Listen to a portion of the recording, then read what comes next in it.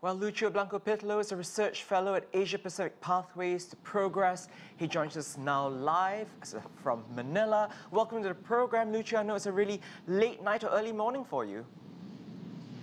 Early morning. Uh, thank you for having me. Absolutely. Pleasure to be here. So, another Marcos president is all but certain. Uh, I have to start by asking, did you think you would ever see the day of such a comeback for this family? Well, uh, if we go by the uh, surveys, consistently had been performing uh, as the front runner. So I, I think uh, many people are uh, at the back of their minds. The prospect of a return of the Marcos presidency has been uh, there in the equation. But what's so stunning, I suppose, for us from the outside uh, is the legacy of his late father and the era of corruption and profligacy attached to that name. So, uh, how has uh, Bongbong Marcos uh, shifted the narrative? Well, certainly the martial law period, the uh, rule of his father, the authoritarian years of that uh, service of his late father, is a controversial and a polarizing chapter in Philippine history. But at the same time, the, the power base, uh, support base uh, from his father, and uh, of course, those that continue to see uh, some uh, positive elements during the rule of his father, uh, such as in terms of the law and order, in terms of discipline, infrastructure, those things, the loyal base of the late father, which is carried on by the son, has been uh, a force. I think that's pretty much solid base that uh, he was able to build on.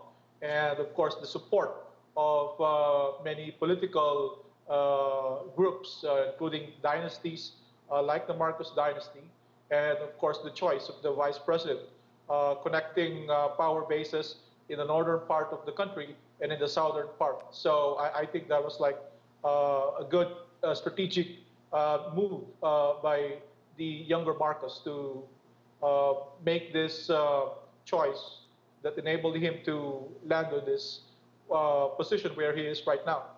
And also during his campaigning, he seemed to have uh, painted that whole era as a golden period for the Philippines. Uh, how did he manage to do that? Well, certainly uh, the issue of the law, human rights abuses, and corruption, the huge debt accumulated during the uh, late years of his father, uh, of course, had been uh, very sharp issues pointed at him. And part of the approach of the social media strategy employed by his camp has been seen by many as critical in swaying public opinion mm. and allaying his concerns. So I, I, think it, it uh, played a part in um, getting him to, to, to where he is uh, right now. Right, and lastly, uh, know, opponents of Mr. Marcos Jr. fear that his presidency would be a return to the old days of his father's rule. Are those fears justified? Well, uh, if, if, we see uh, the experience of other countries where the the scions, the young, uh, the sons and daughters of ex-strongman leaders uh, assumed power decades after their fathers uh, in South Korea and in um, uh, Indonesia, in the case of Megawati and in the case of uh, Park Geun-hye. They have been elected, and if we go by their experiences, they did not return to the fold of the authoritarian years that was associated with their late uh, parents. So I, I don't see uh, Bongbong Marcos taking the, uh, the route uh, that uh, his late father treaded.